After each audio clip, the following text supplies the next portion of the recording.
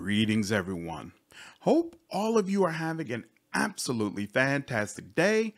We're back again with more Black Geyser content. And this time I wanted to dive into the classes that are available in the game. I know many of you are purchasing the game today. And you're probably trying to figure out what your first playthrough is going to be like. Hopefully there'll be some information in this video that will help you figure out how to roll your character. We're going to use human throughout this video because they are the only race that is able to use all the classes that are in the game. I will have a separate video at some point that will break down all the races and how attributes work in this game as well. But for now, let's go ahead and stick to classes. And the first one is Cleric. Now, clerics cannot use heavy armor, so the heaviest armor they can use is medium. They're proficient with a bunch of different weapons, and honestly, in my opinion, it doesn't matter which one you use. It's just all a matter of whether you want to be up front or at ranged. They all have unique versions. They can be bought in stores. They can be looted off enemies. So it's just all up to your playstyle. Now, clerics get a plus two focus to their racial base, which is important for them and spellcasters in general, because this game likes to put you in a lot of different situations where you're automatically up close to enemies before you can um, use any of your buffs. And oftentimes enemies might even get a free hit against a spellcaster before they can really do anything. So having focus ensures that you're able to cast your spells even when you have a negative debuff on you or when you're being attacked. And especially if you're going to have your cleric up front, that's going to be very, very important for her. Plus one to starting brewing and drying, which is essentially the crafting that is in the game. I definitely feel like you should be focusing on brewing and drying. More than likely, you have a character on the team who's going to be much more proficient in it and will have a higher starting bonus but it doesn't hurt to have another person who is able to do it as well. So this is kind of nice. And then all the classes will have a list of resistances that they have. Honestly, if it's only a couple listed for the class, I don't feel like it means that much.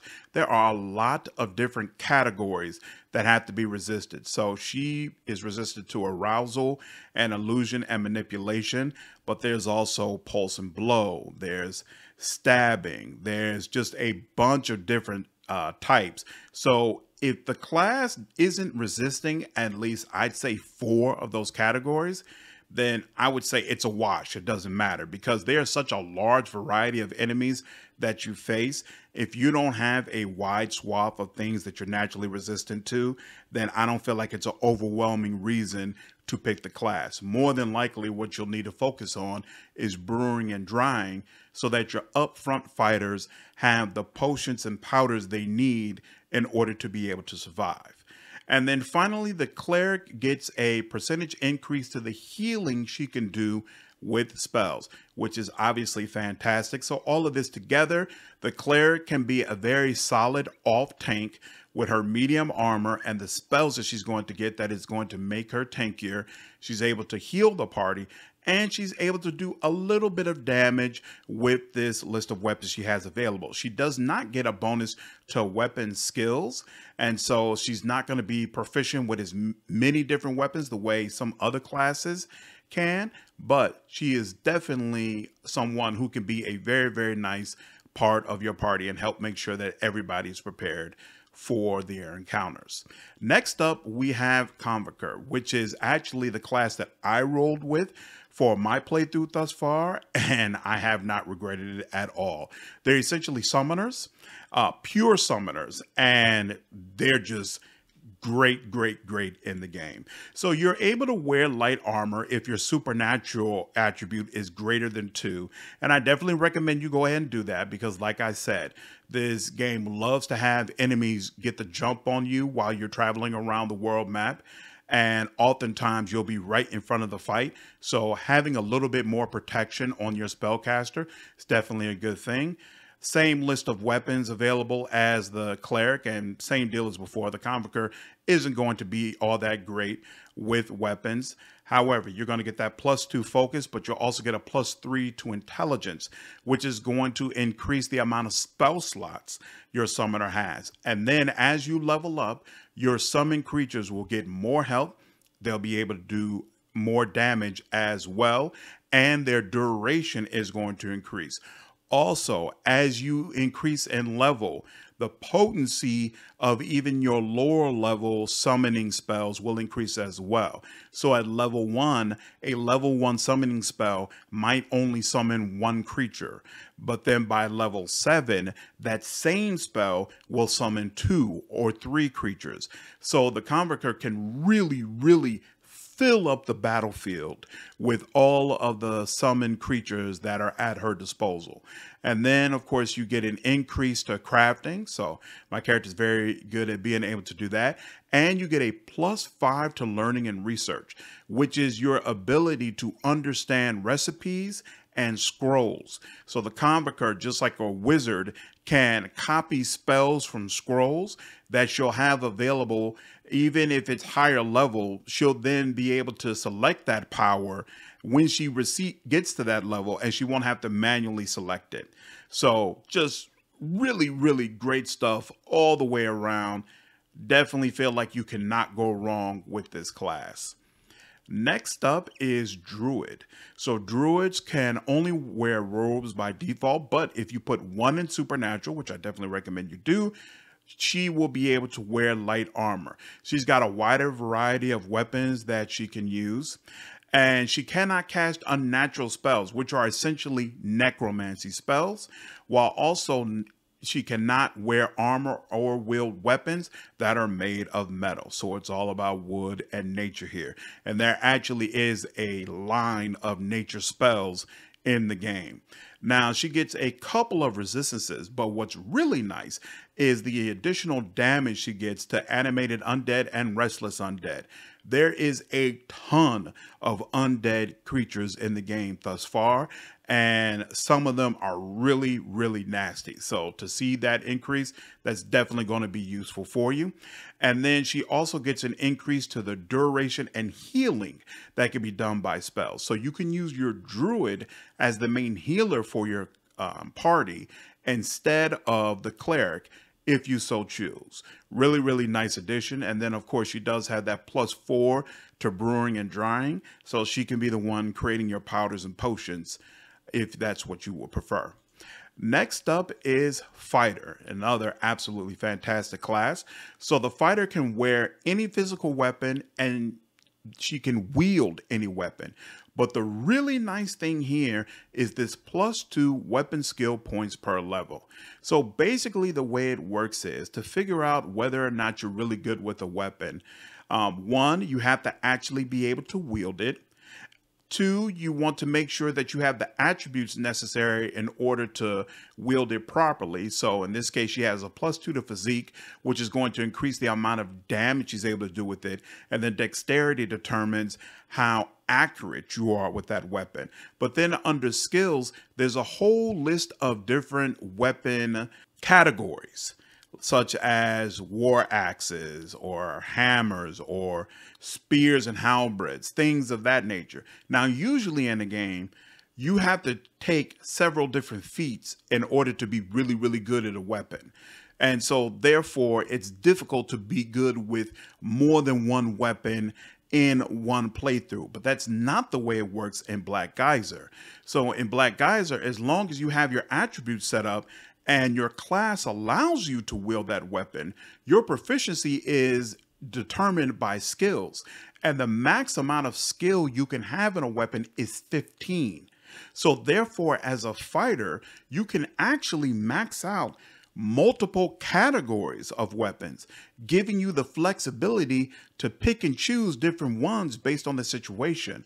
So, I have been able to play around with fighter. You get a party member who's a fighter He's, I think he's level nine right now, and he has almost maxed three different categories of weapons, which again means even though I started him in War Axes, if he got a large sword that I felt like was really, really nice and better than a War Axe, I could switch them out with no problem, lose absolutely nothing. So Fighter gives you a lot of flexibility about what kind of martial character you want to be. So you'll see they get a large uh, damage increase when using two-handed weapons that is cut in half when you're using one-handed weapons. However, the trade-off is if you're using a one-handed weapon, you're also going to automatically get a chance to taunt targets while you're holding that weapon. So automatically while he's roaming around, axe in one hand, shield in the other, every time he's swinging, he's also trying to taunt enemies around him to focus on him. It's just a very, very great, very solid class. Had a lot of fun putting this together. Next up is Highlander. Highlander cannot wear heavy armor, but they can wield any weapon, which honestly I don't think is relevant because they get huge boosts when you're using war clubs and hammers in damage and in the chance to cause a knockdown. So it's pretty obvious that is the category of weapon you are supposed to stick with. Now, even though they can't wear heavy armor, they get a huge list of things that they're resistant to that increases over time. So they're actually can be very, very tanky characters if that's what you want. And then they don't get the plus two to weapon skills that the fighter gets. But again, I don't think it matters because there's really only one category that they're going to be going for anyway. So this plus one actually helps tremendously to be able to max out war clubs and hammers as soon as possible and make the most out of these damage and knockdown buffs that you're going to get. So overall, great, great class and someone that you could use right up front if you so choose. Next up is Necromancer, which honestly are a lot like Convokers, except that Convokers basically summon anything. They might summon uh, spiders or wolves or skeletons, whatever they choose, whereas Necromancers are going to focus on the undead. So you get that uh, buff to focus, you get the bonus to intelligence, brewing and drying, learning and research. Those are all important for the reasons we've already stated. And then they get an increase to the damage dealt by summoning creatures, just like convokers, and health just like Convokers as well. However, they also get an increase to the damage dealt by damage over time effects. So while Convokers strictly deal in summoning, Necromancers have a little bit of variety in what they do, where they can summon the undead or also try to deal direct damage. All right, next up is Ranger. Rangers cannot wear heavy armor. They can wield any weapon and they gain spells at level 4.